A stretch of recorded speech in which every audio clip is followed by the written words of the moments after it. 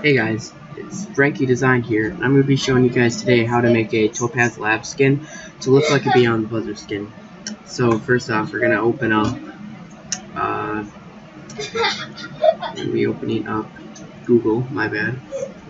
Okay, you're going to need to find a high quality pic, so for this one I'm going to use Odell Beckham, just kill time, and I'm going to speed up this part.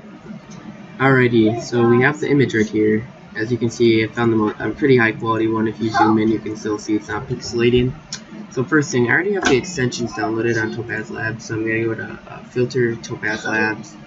Let's denoise it a little bit. Let's go to denoise 5. And uh, what we're going to do, I'm gonna I'm just gonna pick strong and do about a 0.20. Let that render. I'm gonna actually skip until it's done. Okay guys, so we're back.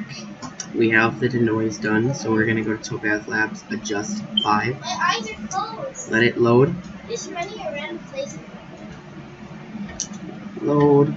Guess first thing, I'm gonna go to HDR collection and pick dynamic pop. I'm gonna uh, hit apply. Let that render on the bottom right here. Okay, so next thing, I'm adjust for preset list is what we're gonna go to. And we're gonna go down to psychedelic. This is really the deal breaker here. It does so much to it. And uh it looks kind of rough right now so we're gonna put the adaptive exposure right here down to about 0.50 and we're gonna go to details right here.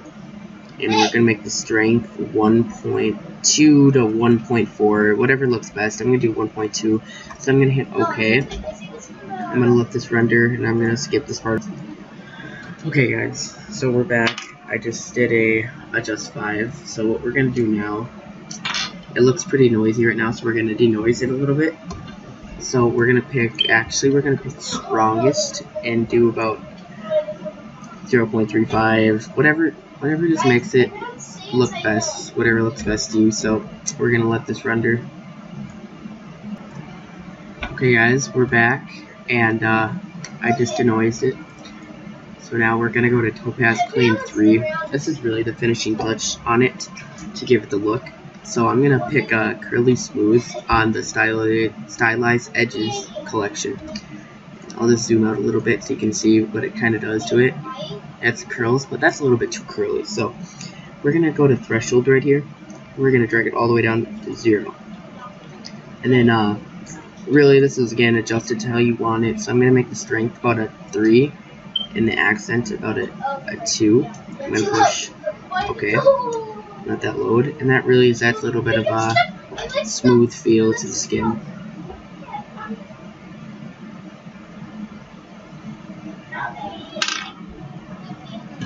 Okay, and there you have it.